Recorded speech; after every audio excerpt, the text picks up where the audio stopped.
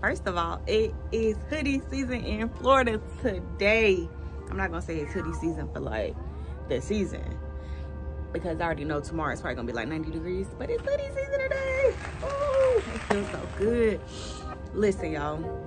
I don't even know what I came on here to say. I just want you guys to have a great day. I just want you guys to truly go inward and just like believe in yourself, knowing that you are everything you think you are. You are everything that you see yourself as, everything that you're wanting, that you are desiring, that you are, you know, aiming for. You are manifesting it.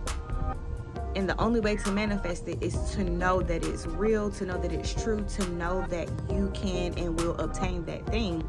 You know, being in the oh yeah, that is where I am. This is who I am. So really seeing yourself. I was listening to this video today and he said this quote. You can't see it until you believe it. You can't see it until you believe it. And of course, you know, normally the quote would probably go, you can't believe it until you see it. But how can you see something if you don't believe it? How can you see something if you don't know it to be true? So, knowing that you are worthy, knowing that you are enough, knowing that you are everything that you are and everything that you will be, like seeing yourself in that, you know, is what's going to bring those things into fruition.